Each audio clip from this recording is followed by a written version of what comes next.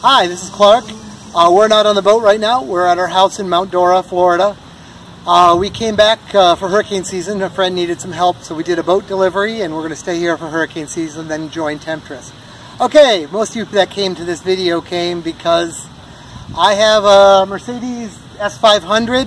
Uh, we uh, started driving it, and the back end went right down. I tried everything. I did all the things you're supposed to do. I checked for leaks. I took the pump out. I verified the air pump was working.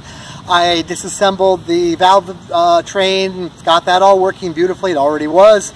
Tested it on my bench. Spent a lot of time going down basically everything on uh, YouTube tells you to do.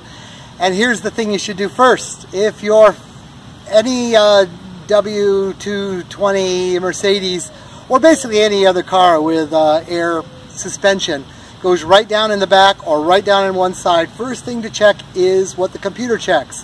The little sensor that tells it how high it should be riding.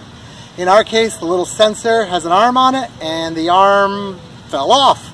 Brought it off at the end and that's the problem. I'm going to show you the arm, show you how simple it was to finally jury rig it. I'll be fixing it when I get apart. Uh, come with me.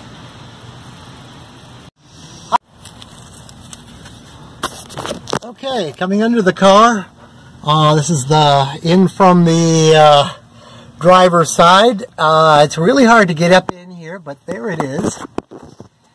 Uh, the copper wire is my little quick fix. That rod is the part that came off at the copper wire. And the little box up there, you can see the arm of it anyway, is the actual setting unit that tells it how high the ride is.